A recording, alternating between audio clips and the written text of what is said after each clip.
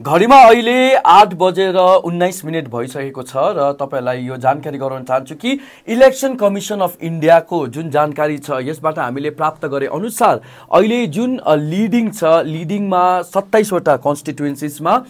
SKM पार्टीले lead गरिरहेको छ भने एउटा सिट विशेष स्यारी कन्स्टिट्युन्सी जो ग्याल्टिक डिस्ट्रिक्ट अन्तर्गत पर्दछ यसमा विशेष त एसडिएफले लिड गरिरहेको छ कविता। एकदमै एक्साइटमेन्ट प्रकारले यो काउन्टिङ प्रोसेस अघि बढिरहेको छ र प्रथम चरण दोस्रो चरणको यो काउन्टिङ प्रोसेस सकिसकेको छ थर्ड चरणको काउन्टिङ प्रोसेस भइरहेको छ भने अहिलेसम्मको मेरो सहयोगी निर्मल मङ्गलले भने जस्तै जुन चाहिँ अहिलेको टाइम लगभग आठ बिस हुन लागि लागिरहेको छ र अहिलेको समयसम्म सत्ताइसवटा जुन चाहिँ कन्स्टिट्युन्सी छ त्यसमा एसकेएमले एसकेएम पार्टीका उम्मेद्वारहरूले कतिवटा कन्स्टिट्युन्सीमा धेरै मतले लिड गरिरहेका छन् भने कतिवटा कन्स्टिट्युन्सीमा एकदमै कम्ती मार्जिनले मार्जिनले कम्ती मार्जिनले भए तापनि एसकेएम पार्टीले लिड गरेको जानकारी अहिलेसम्म इसिआईले दिइरहेको छ भने यसरी नै एउटा कन्स्टिट्युन्सी जुन स्यारी कन्स्टिट्युन्सी छ त्यसमा एसडिएफ पार्टीले पहिलो अनि दोस्रो चरणको जुन चाहिँ काउन्टिङ भएको छ यसमा लिड गरिरहेको छ। र एकदमै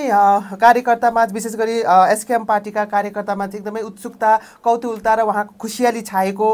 भिजुअल्सहरू पनि हामीले देखिरहेका छौँ। उहाँहरूको एकदमै एक्साइटमेन्ट बढिरहेको छ। तर अहिले यो काउन्टिङ प्रोसेस सुरु सुरु मिन्स प्रोसेस चलिरहेको छ सकिएको छैन र अन्तिम रिजल्ट यो काउन्टिङ सँगसँगै पोस्टल ब्यालेटको जब रिजल्ट आउँछ तब मात्र यसको कन्फर्मेसन हुनेछ कुन क्यान्डिडेटले कुन पार्टीको क्यान्डिडेटले जितेको छ भनेर। तर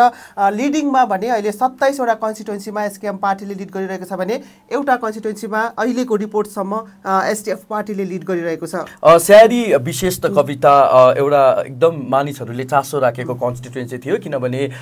एकदमै सिजन्ड पोलिटिसियन कुङ्गा निमा लेप्चा जो धेरै वर्ष अपोजिसनमा बसेका थिए होइन? उहाँले विशेष त स्यारी कन्स्टिट्युन्सीबाट एसकेएमको टिकटबाट उहाँहरूले कन्टेस्ट गरिरहेको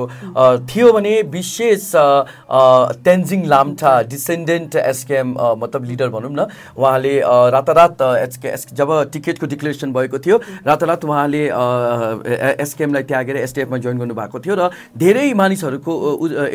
स्यारी कन्स्टिट्युन्सीमाथि इन्ट्रेस्ट थियो र स्यारी एसडिएफले लिड गरिरहेको जानकारी हामीले प्राप्त गरेका छौँ। सेकेन्ड राउन्डमा पनि भने अन्य कन्स्टिट्युएन्सी जस्तै वेस्टमा भयो साउथमा भयो अनि इस्टमा अन्य कन्स्टिट्युन्सी र नर्थमा पनि एसकेएमले लिड गरिरहेको छ। यो चाहिँ इलेक्सन कमिसन अफ इन्डियाको वेबसाइटको अनुसार हो र हामी तपाईँहरूलाई अझ जानकारी लिएर आउनेछौँ। हेर्दै गर्नुहोस् सिक्किम क्रोनिकल